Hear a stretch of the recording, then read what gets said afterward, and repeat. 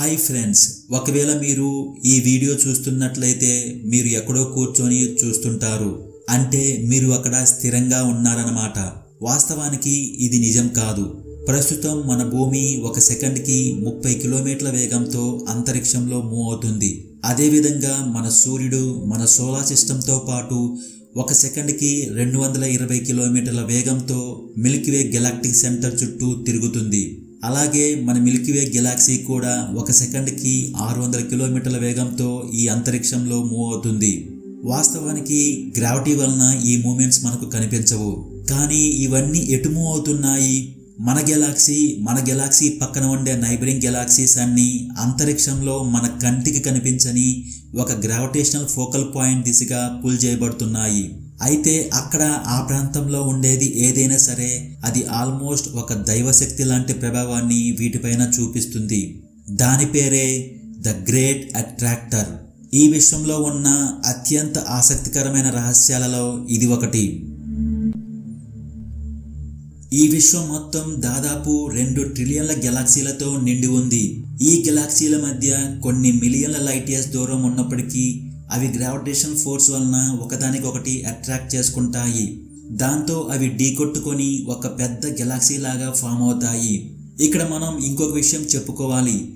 ఆ విషయం ఏమిటంటే యూనివర్స్ ఎక్స్పాన్షన్ కారణంగా గెలాక్సీస్ ఒకదానికొకటి అట్రాక్ట్ చేసుకునే వేగం కంటే వాటి మధ్య ఉండే దూరం పెరుగుతుంది. దీనిని హబుల్ ఫ్లో అని అంటారు. దీనిని నైన్టీన్ ట్వంటీ నైన్లో ఎడ్విన్ హబుల్ కనిపెట్టాడు. ఏదేమైనా ఈ విశ్వం ఎక్స్పాండ్ అవుతున్నప్పటికీ గెలాక్సీల మధ్య ఉండే కంబైన్డ్ గ్రావిటేషనల్ పొటెన్షియల్ వలన అవి ఎంత దూరంగా ఉన్నా సరే వాటి మధ్య ఉండే అట్రాక్షన్ అలాగే ఉంటుంది. అంటే ఈ అట్రాక్షన్ వలన వాటి మధ్య ఉండే స్పేస్ చాలా వరకు తగ్గుతుంది. ఇలా గ్రావిటీ వలన కలిసికట్టుగా ఉండే వందల నుండి వేలాది గెలాక్సీలతో కూడిన నిర్మాణాన్ని గెలాక్సీ క్లస్టర్స్ అని పిలుస్తారు. ఇలా మూడు నుంచి పది గెలాక్సీ క్లస్టర్స్ కలిసి ఉండే గ్రూప్ని సూపర్ క్లస్టర్లని పిలుస్తారు. ఈ గెలాక్సీ సూపర్ క్లస్టర్లన్నీ కలిసి మ్యాసివ్ స్ట్రక్చర్లను ఏర్పరుస్తాయి. వీటిని ఫిలమెంట్స్ అని అంటారు. ఈ ఫిలమెంట్స్ విశ్వమంతటా విస్తరించి ఒక విస్తృత స్థాయి నిర్మాణాన్ని ఏర్పరుస్తుంది. దీనిని కాస్మిక్ వెబ్ అని పిలుస్తారు. అంటే సింపుల్గా చెప్పాలంటే ఈ విశ్వంలో ఉండే మ్యాటర్ అంతా అనేక డైరెక్షన్లో ఒక స్పాంజ్ లాగా విస్తరించి ఉందన్నమాట. గత నలభై సంవత్సరాలలో సైంటిస్టులు ఇంటర్ గెలాక్టిక్ స్పేస్కి సంబంధించి త్రీ డైమెన్షన్ మ్యాప్ని రూపొందించగలిగారు. దాంతో మనము ఈ విశ్వంలో మన సరౌండింగ్స్ గురించి ఈజీగా తెలుసుకోగలుగుతున్నాము. మన లోకల్ గ్రూప్లో మన galaxy Andromeda galaxy Triangulum galaxy ఇంకా వంద కంటే ఎక్కువ కలిగిన ఇతర చిన్న చిన్న డ్వాఫ్ గెలాక్సీలు ఉన్నాయి. అయితే మన లోకల్ గ్రూప్ అనేది పదమూడు వందల కంటే ఎక్కువ గెలాక్సీలు కలిగిన ఒక ప్రాంతంలో భాగమని తెలుసుకున్నారు. ఈ ప్రాంతాన్ని వర్గో క్లస్టర్ అని పిలుస్తారు. ఈ వర్గో క్లస్టర్ కూడా వంద కంటే ఎక్కువ గెలాక్సీ క్లస్టర్లు కలిగిన ఒక పెద్ద ప్రాంతంలో ఉంది. ఈ ప్రాంతాన్ని వర్గో సూపర్ క్లస్టర్ అని పిలుస్తారు. ఈ విశ్వంలో ఇప్పటి వరకు కనుక్కున్న పది మిలియన్ల పైగా గెలాక్సీ సూపర్ క్లస్టర్లలో వర్గో సూపర్ క్లస్టర్ ఒకటి. ఇది నూట పది మిలియన్ల లైట్ ఇయర్స్ దూరం కంటే ఎక్కువ ప్రాంతాన్ని విస్తరించి ఉంది. అంటే ఇది మన లోకల్ గ్రూప్ కంటే ఏడు వేల రెట్లు ఎక్కువ ఉందన్నమాట. అయితే ఈ క్లస్టర్ నెట్వర్క్ ఇక్కడితో ఆగిపోలేదు. టూ థౌజండ్ ఫోర్టీన్లో యూనివర్సిటీ ఆఫ్ హవాయిలోని సైంటిస్టులు ఒక గ్రౌండ్ బ్రేకింగ్ స్టడీ చేశారు. ఆ స్టడీలో తెలిసిన విషయం ఏమిటంటే వర్గో సూపర్ క్లస్టర్ అనేది మరింత పెద్ద నెట్వర్క్లో ఒక భాగం మాత్రమే అని కనుక్కున్నారు. ఆ పెద్ద నెట్వర్కే మన హోమ్ గెలాక్టిక్ సూపర్ క్లస్టర్ అయిన the Laniakea super cluster. Laniakea super cluster మొత్తం five twenty million light years పైగా విస్తరించి ఉంది. ఇందులో దాదాపు లక్ష గెలాక్సీస్ పైగా ఉన్నాయి. ఇందులో అనేక గెలాక్సీ సూపర్ క్లస్టర్లు భాగంగా ఉన్నాయి. ఇందులో మెయిన్గా మన మిల్కీవే గెలాక్సీతో కూడిన Virgo cluster Hydra Centaurus super cluster Pavo Indus super cluster southern super cluster అనే నాలుగు సూపర్ క్లస్టర్లు భాగంగా ఉన్నాయి. అయితే ల్యానేకే సూపర్ క్లస్టర్ మ్యాసివ్గా ఉండడం వలన అందులో ఉండే గెలాక్సీస్ అన్నీ ఈ రెండు ప్రాసెస్లో ఒక ప్రాసెస్ని ఖచ్చితంగా ఫాలో కావాలి. ఒకటి లానేకే సూపర్ క్లస్టర్లో ఉండే గెలాక్సీస్ అన్నీ గ్రావిటీకి కట్టుబడి అవన్నీ కలిసిపోయి కుదించుకుపోవాలి. రెండవది ఈ గెలాక్సీస్ అన్ని యూనివర్స్ ఎక్స్పాన్షన్కు అనుగుణంగా హబుల్ ఫ్లోలో చిక్కుకొని గెలాక్సీస్ అన్ని ఒకదానికొకటి దూరం కావాలి. కానీ నిజానికి ఇక్కడ ఇలా జరగడం లేదని సైంటిస్టులు గమనించారు. ఇక్కడ ఆశ్చర్యం కలిగించే విషయం ఏమిటంటే లానేకే సూపర్ క్లస్టర్ లాంటి స్ట్రక్చర్స్ విస్తరించడంతో పాటుగా అందులో ఉండే సూపర్ క్లస్టర్స్ అన్నీ ఇక్కడ ఉండే ఒక ప్రత్యేక ప్రాంతం వైపు పూల్ చేయబడుతున్నాయి అంటే ఇలాంటి గెలాక్టిక్ సూపర్ క్లస్టర్స్ లాంటి భారీ పరిణామాన్ని కూడా పుల్ చేసేంత శక్తి అక్కడ ఆ ప్రాంతంలో ఏదో ఉండాలి. అక్కడ అపారమైన శక్తితో కూడిన గ్రావిటేషనల్ అనామలీ ఉందని సైంటిస్టులు అంటున్నారు. ఇదే ఈ క్లస్టర్ మొత్తాన్ని దాని వైపుగా పుల్ చేసేలా చేస్తుంది. ఈ అనామలీనే ది గ్రేట్ అట్రాక్టర్ అని అంటారు. ద గ్రేట్ అట్రాక్టర్ మన గెలాక్సీ నుండి two fifty million light years దూరంలో ఉంది. మన లోకల్ గ్రూప్ గెలాక్సీలతో పాటుగా కొన్ని వందల మిలియన్ల లైట్ ఇయర్స్ దూరంలో ఉన్న గెలాక్సీస్ అన్ని ఈ గ్రేట్ అట్రాక్టర్ దిశగా మూవ్ అవుతున్నాయి. అంటే ఆ ప్రాంతంలో ఈ రెండింటిలో ఒకటి ఖచ్చితంగా ఉండి ఉండవచ్చు. ఒకటి అసాధారణమైన అధిక సాంద్రత కలిగిన ఒక అల్ట్రా మ్యాసివ్ స్ట్రక్చర్ లేదా ఒక డెన్స్ గెలాక్సీ క్లస్టర్ అక్కడ ఉండి ఉండవచ్చు. ఇంకొకటి యూనివర్స్ ఎక్స్పాన్షన్ను ఎదుర్కొంటున్న ఒక భయంకరమైన ఇంటర్ గెలాక్టిక్ బ్లాక్ హోల్ లేదా ఒక మిస్టీరియస్ డార్క్ ఫోర్స్ అక్కడ ఉండి ఉండవచ్చు. కానీ ఎగ్జాక్ట్గా అక్కడ ఏముందో మనకు తెలియదు. దానికి కారణం ద గ్రేట్ అట్రాక్టర్ ఉండే ప్రాంతం అలాంటిది కాబట్టి.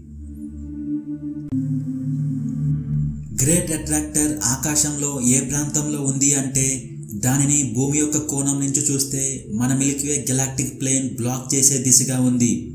అంటే మన గెలాక్టిక్ ప్లేన్ దిశగా గెలాక్టిక్ ప్లేన్ అవతల ఏముందో మనం చూడలేము. ఎందుకంటే గెలాక్టిక్ ప్లేన్ అంతా గ్యాస్ డస్ట్ స్టార్స్తో నిండి ఉంటుంది. అంటే అటువైపు నుంచి వచ్చే కాంతిని ఇది బ్లాక్ చేస్తుంది. గెలాక్టిక్ ప్లేన్ దిశగా ఉన్న భాగాన్ని జోన్ ఆఫ్ అవాయిడెన్స్ అని అంటారు. ఈ గ్రేట్ అట్రాక్టర్ ఆ ప్రాంతం దిశగానే ఉంది. వాస్తవానికి సుమారు రాబోయే వంద మిలియన్ల సంవత్సరాలలో మన సూర్యుడు మన గెలాక్టిక్ సెంట్రల్ బ్లాక్ హోల్ చుట్టూ తిరుగుతూ మనల్ని మిల్కీవే అవతల వైపుకు తీసుకువెళ్తాడు. అక్కడ నుంచి చూస్తే మనకు జోన్ ఆఫ్ ఎవిడెన్స్ అవతలేముందో తెలుస్తుంది. కానీ ఇలా జరగడానికి చాలా కాలం పడుతుంది. నిజానికి గ్రేట్ అట్రాక్టర్ని నైన్టీన్ సెవెంటీస్లోనే గుర్తించారు. కానీ అది జోన్ ఆఫ్ ఎవిడెన్స్ అవతల ఉండడం వలన దాని గురించి మొదట్లో తెలుసుకోలేకపోయారు. ఎందుకంటే ఇప్పుడు ఉన్న టెక్నాలజీ అప్పుడు ఉండేది కాదు కాబట్టి. అందుకనే అప్పుడు దాదాపు నలభై డిగ్రీల ఆకాశాన్ని మ్యాప్ చేయలేకపోయారు. ఆ తర్వాత సైంటిస్టులు కాస్మిక్ మైక్రోవేవ్ బ్యాక్గ్రౌండ్ యొక్క డీటెయిల్ మ్యాప్ని రూపొందించడం మొదలుపెట్టారు. కాస్మిక్ మైక్రోవేవ్ బ్యాక్గ్రౌండ్ రేడియేషన్ అనేది బిగ్ బ్యాంగ్ జరిగిన మూడు లక్షల సంవత్సరాల నాటికి చెందిన మైక్రోవేవ్ రేడియేషన్. ఇది విశ్వమంతటా వ్యాపించి ఉంది. ఈ రేడియేషన్ని మ్యాప్ చేస్తున్నప్పుడు వారు సిఎంబి డైపోల్ అని పిలువబడే ఒక దానిని కనుక్కున్నారు. అంటే మన మిల్కీవే గెలాక్సీ అంతరిక్షంలో మూవ్ అవడం వల్లనే ఈ సిఎంబి డైపోల్ ఏర్పడిందని గమనించారు. సిఎంబి రేడియేషన్కు సంబంధించి మన మిల్కీవే గెలాక్సీ ఒక సెకండ్కి ఆరు వందల కిలోమీటర్ల వేగంతో అంతరిక్షంలో మూవ్ అవుతున్నట్లు కనుక్కున్నారు. దీనినే మన గెలాక్సీ పెక్యులియర్ వెలాసిటీ అంటారు. ఆస్ట్రానమర్స్ మన గెలాక్సీ పెక్యులియర్ వెలాసిటీని అయితే కనుక్కోగలిగారు కానీ ఈ వెలాసిటీకి కారణమయ్యే మూలాన్ని మాత్రం అప్పుడు వివరించలేకపోయారు. ఆ తర్వాత నైన్టీన్ ఎయిటీస్లో మన విశ్వం యొక్క త్రీడీ మ్యాపింగ్ని మ్యాప్ చేయగలిగారు. ఆ మ్యాపింగ్ ద్వారా మన గెలాక్సీతో పాటుగా జోన్ ఆఫ్ అవైడెన్స్ పైన కింద ఉండే గెలాక్సీస్ అన్ని కాన్స్టలేషన్ సెంటారస్లో ఉండే గ్రావిటేషన్ ఎనామలీ వైపు మూవ్ అవుతున్నట్లు కనిపెట్టారు. ఆ గ్రావిటేషన్ ఎనామలీ యొక్క మూలం వన్ ఫిఫ్టీ మిలియన్ల లైట్ ఇయర్స్ నుండి టూ ట్వంటీ మిలియన్ల లైట్ ఇయర్స్ మధ్యలో ఎక్కడో ఉండవచ్చని నైన్టీన్ ఎయిటీ సిక్స్లో కనిపెట్టారు. రెండు సంవత్సరాల తర్వాత డొనాల్డ్ లిండన్ బెల్ నేతృత్వంలోని ఇంటర్నేషనల్ టీం నాలుగు వందల ఎలక్ట్రికల్ గెలాక్సీస్ కూడా గ్రావిటేషన్ అనామలీ వైపుగా మూవ్ అవుతున్నాయని కనుక్కున్నారు. అప్పటి నుంచి ఈ గ్రావిటేషన్ అనామలీకి ద గ్రేట్ అట్రాక్టర్ అనే పేరు పెట్టారు. అయితే ఆ టైంలో ఈ గ్రేట్ అట్రాక్టర్ మన గెలాక్సీ పెక్యులర్ వెలాసిటీకి మరియు మిగతా గెలాక్సీల మూమెంట్కి ఎలా కారణమవుతుందో కనుక్కోలేకపోయారు. కానీ గ్రేట్ అట్రాక్టర్ మూలం మన సోలార్ మాస్ కంటే టెన్ క్వింటీలియన్ టైమ్స్ ఎక్కువ ఉంటుందని అంచనా వేశారు. అంటే టెన్ మిలియన్ బిలియన్ సూర్యులతో సమానమన్నమాట. ఇది అనేక మిలియన్ల భారీ గెలాక్సీలకు సమానం. దాంతో యాస్ట్రానమర్స్కి గ్రేట్ అట్రాక్టర్ గురించి తెలుసుకోవాలని ఆసక్తి బాగా పెరిగింది.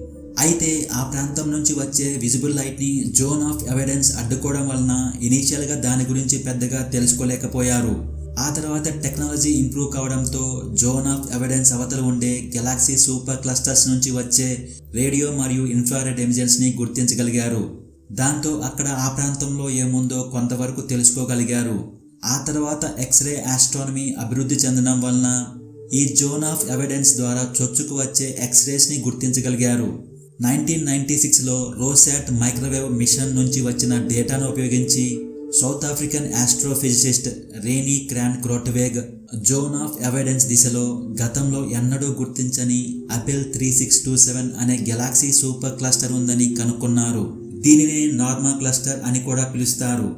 నార్మా క్లస్టర్ భూమి నుండి టూ ట్వంటీ మిలియన్ లైటేస్ దూరంలో ఉంది. ఇది మన సన్ కంటే క్వార్నిలియన్ టైమ్స్ అంటే ten power of fifteen times ద్రవ్యరాశిని కలిగి ఉంటుంది.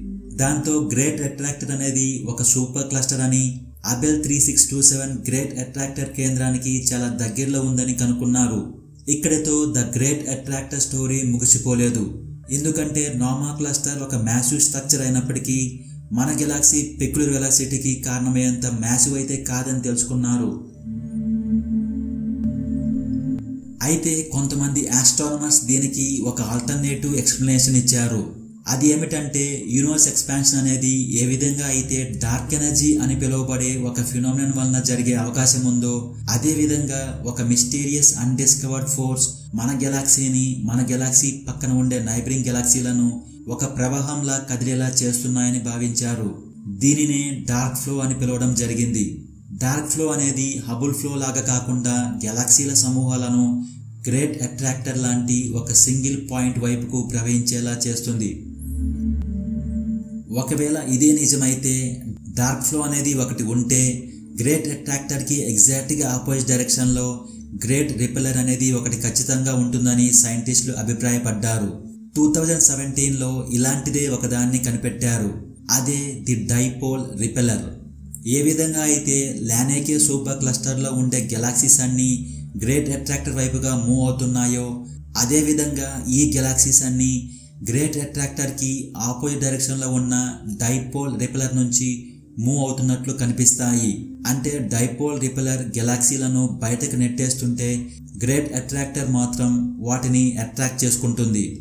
అందుకనే సైంటిస్టులు గ్రేట్ అట్రాక్టర్ మరియు డైపోల్ రిపెలర్ రెండు యూనివర్స్ ఎక్స్పాన్షన్ ప్రభావాన్ని అధిగమించే డార్క్ కాస్మిక్ సిస్టంలో ఒక భాగమని అంటారు. అయితే డైపోల్ రిపెలర్ ఒక ఎనామలీ లాగా అనిపించినప్పటికీ దీనిని వివరించడానికి డార్క్ ఫ్లో ఖచ్చితంగా ఉండవలసిన అవసరం లేదు. కానీ వాస్తవానికి డైపోల్ రిపెలర్ ఒక ఎనామలీ కాదు. ఇది గెలాక్సీ క్లస్టర్స్ ఫామ్ అవడం వలన సహజంగా ఏర్పడింది. అంటే మనం ముందుగా చెప్పుకున్నట్లుగా గెలాక్సీలు ఒకదానికొకటి అట్రాక్ట్ చేసుకోవడం వలన దట్టమైన గెలాక్సీ క్లస్టర్స్ ఫామ్ అవుతాయి. ఈ ప్రక్రియ వలన గెలాక్సీ క్లస్టర్స్ మధ్య వాయిడ్స్ క్రియేట్ అవుతాయి. అంటే గెలాక్సీ క్లస్టర్స్ ఎంత మ్యాసివ్గా ఉంటే వాటి చుట్టూ అంత ఎక్కువగా వాయిడ్స్ ఫామ్ అవుతాయన్నమాట. గెలాక్సీలో డైపోల్ రిప్లర్ నుంచి దూరంగా పుష్ చేయబడుతున్నట్లు అనిపించినప్పటికీ వాస్తవానికి ఏది వాటిని పుష్ చేయడం లేదు. కేవలం గ్రావిటేషనల్ ఫోర్స్ మాత్రమే వాటిని పుల్ చేస్తుంది. అంటే డైపోల్ రిపెలర్ అనేది ఒక మ్యాసివ్ ప్రభావం వలన ఖాళీ అయిన ప్రాంతం. ఇది ఒక వర్చువల్ రిపెలర్ లాగా కనిపిస్తుంది. ఒకవేళ ఈ గెలాక్సీల మూమెంట్స్కి కారణం డార్క్ ఫ్లో కాకపోతే గ్రేట్ అట్రాక్టర్ దిశగా వేగంగా మూవ్ అవడానికి అక్కడ ఆ ప్రాంతంలో క్లస్టర్స్ కాకపోతే ఇంకేముంటాయి మరి? టూ థౌజండ్ స్టార్టింగ్లో clusters in the zone of avoidance అనే ప్రాజెక్ట్ని స్టార్ట్ చేశారు. ఈ ప్రాజెక్ట్లో భాగంగా రోసాట్ మిషన్ రికార్డ్ చేసిన ఎక్స్రే నమూనాలను సేకరించారు. ఈ ప్రాజెక్ట్ ముఖ్య ఉద్దేశం ఏమిటంటే గత కొన్ని సంవత్సరాలుగా మ్యాప్ చేయనటువంటి జోన్ ఆఫ్ ఎవిడెన్స్ ప్రాంతాన్ని మ్యాప్ చేయడం. అలాగే గ్రేట్ అట్రాక్టర్ మీద ఎక్కువ దృష్టి పెట్టడం. దాంతో జోన్ ఆఫ్ అవైడెన్స్ మరియు గ్రేట్ అట్రాక్టర్ ప్రాంతంలో గతంలో కనిపెట్టని రెండు వందలకు పైగా గెలాక్సీ క్లస్టర్లను గుర్తించారు. ఈ క్లస్టర్స్ యొక్క మాస్ ఒకప్పుడు ప్రతిపాదించిన మాస్ కంటే కేవలం అందులో పదో వంతు మాత్రమే ఉన్నట్లు కనుక్కున్నారు. అంటే ఈ క్లస్టర్స్ మన గెలాక్సీ పెక్యులర్ వెలాసిటీకి కారణమయ్యేంత మ్యాసివ్ కాదని తెలుసుకున్నారు. అంటే కేవలం గ్రేట్ అట్రాక్టర్ వల్లనే మన గెలాక్సీ మన నైబరింగ్ గెలాక్సీస్ మూవ్ అవడం లేదని కనుక్కున్నారు. అంటే గ్రేట్ అట్రాక్టర్ ఒకప్పుడు మనం అనుకున్నంత గ్రేట్ ఏం కాదు.